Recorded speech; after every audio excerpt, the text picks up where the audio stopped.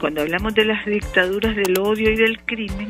La vicepresidenta Rosario Murillo lanzó un ataque virulento contra miles de ciudadanos que participaron en el estallido social de abril de 2018, a los que calificó de somocistas y terroristas y advirtió que las protestas de abril nunca volverán.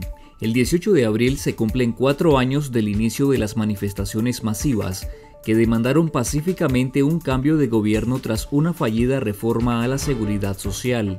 Murillo dijo que no hay perdón ni olvido para los criminales, refiriéndose a los opositores a quienes acusa de perpetrar un intento de golpe de Estado. Según la Comisión Interamericana de Derechos Humanos, la represión estatal dejó 355 muertos entre abril de 2018 y julio de 2019. Murillo atacó a los obispos y sacerdotes y los centenares de miles de personas que demandaron la salida de Daniel Ortega del poder y calificó que todo era parte de una coreografía. El exalcalde y exdiputado del FSLN Gerardo Miranda Obregón salió libre de la cárcel del Chipote después de estar encarcelado bajo una investigación una semana. Las autoridades no explicaron las razones de su detención ni las causas de la investigación, y tampoco formularon cargos judiciales en su contra. Según fuentes del partido de gobierno, Miranda fue investigado señalado de promover una conspiración con miembros del sandinismo histórico, Recientemente la cúpula del FSLN dio la orden de desactivar al sandinismo histórico, lo que provocó diferencias de los viejos militantes con Rosario Murillo. El exdiputado Miranda es recordado por ser el operador de una red de coimas del FSLN a inversionistas, según una investigación de esta semana de mayo de 2007. Daniel Ortega nombró a Tirso Celedón Lacayo, hombre de confianza del banquero Ramiro Ortiz Mayorga, como miembro del Consejo Directivo del Banco Central de Nicaragua.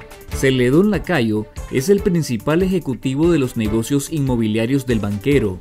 También fue uno de los directores del Banco Corporativo, relacionado con los negocios de la familia presidencial que quebró después de ser sancionado por el Departamento del Tesoro de Estados Unidos. El Ministerio de Energías y Minas anunció que asumirá el incremento del costo del combustible correspondiente a la Semana Santa, por lo tanto no habrá aumento en el valor del diésel, la gasolina regular y la super en las estaciones de servicio. Según los cálculos del Ejecutivo, el diésel debió aumentar 13.63 córdobas por galón, pero no será efectivo esta semana. Tampoco aumentará el costo del gas licuado en sus distintas presentaciones, 10, 25 y 100 libras, aunque explicaron que el cilindro de 25 libras debió costar 30 córdobas más. El Instituto Nacional de Migración de México encontró a 14 migrantes nicaragüenses escondidos en un pozo y cuarto de máquinas de un hotel en Oaxaca. Los migrantes formaban parte de un grupo de 30 personas que intentaban llegar a Estados Unidos. La migración de nicaragüenses a Estados Unidos aumentó desde 2018. La travesía está llena de riesgos. Nueve nicaragüenses han fallecido hasta ahora, desde enero pasado intentando lograr una mejoría económica o huyendo de la represión. La Asamblea General de las Naciones Unidas suspendió a Rusia en el Consejo de Derechos Humanos por los abusos cometidos en la invasión a Ucrania. La medida fue aprobada con 93 votos a favor, 24 en contra y 58 abstenciones. Nicaragua se sumó a los países que votaron en contra, integrado por Rusia, China, Cuba, Irán y Siria. El 21 de febrero pasado, Ortega manifestó públicamente su respaldo al envío de tropas rusas.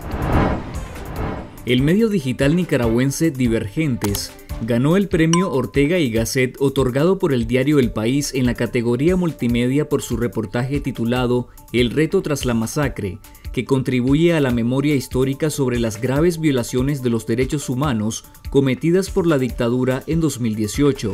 El equipo lo integran ocho reporteros, entre ellos Wilfredo Miranda, Maynor Salazar, Néstor Arce, Carlos Herrera y Julián Navarrete.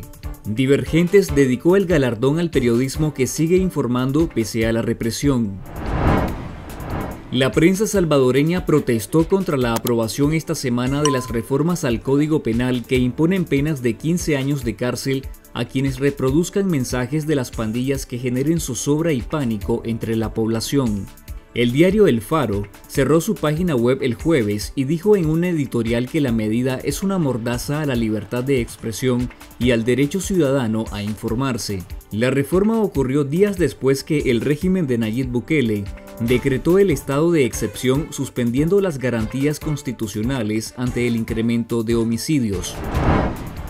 El presidente electo de Costa Rica, Rodrigo Chávez, anunció que nombrará a un embajador en Nicaragua, pero aseguró al semanario Universidad que seguirá defendiendo los valores de los costarricenses como la democracia y la libertad con todo lo que la ley permite. A pesar de que Chávez ganó la presidencia el domingo 4 de abril, el régimen de Ortega Murillo aún no lo felicita.